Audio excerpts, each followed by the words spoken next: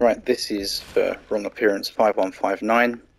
We're now looking at Leon's run. Slightly different. Um, same situation for me. I'm on hardcore, doing a timed run. Um, I've got my two flashbangs. Got a better heal this time round, which is useful. I also have a first aid spray.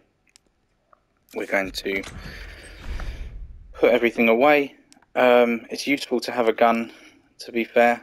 So maybe we'll just keep this and, and see how we get on. But basically, what you want to do is uh, here's your large gear, which we picked up from um, earlier on in that storage room on the east side.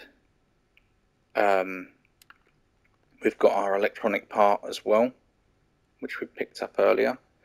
We've got plenty of heals, but we're going to go in again with just two hills. Doesn't matter, really. Ideally you want two full hills, but for me it won't matter too much.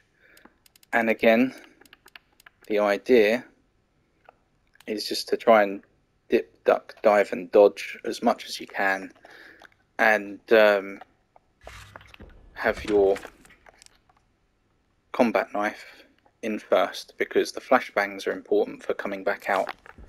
Okay, so this time with Leon, we go this way. Is he coming? Forgot to.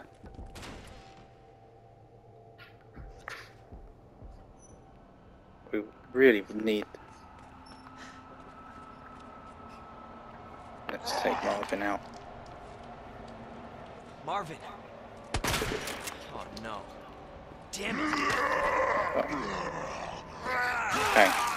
Well, Marvin didn't want to take a. There we go. That's what we're looking for. So hopefully that has attracted Mr. X. We're gonna go similar. First aid spray, and then we'll take this. So that's a very similar situation to the Claire run. Is he coming? Whoa, he's right there. Jesus, okay. I was expecting him to come from up there again, but for some reason he came out a different door. Um, probably just due to wherever I ran from. What's he doing? Oh, he's coming around this way. So he knows that we're here. We're now gonna have to hold our nerve for as long as possible. Because there is a Licker in here. We now run, try and dodge it as best we can, get to this door, use the key. We're going in.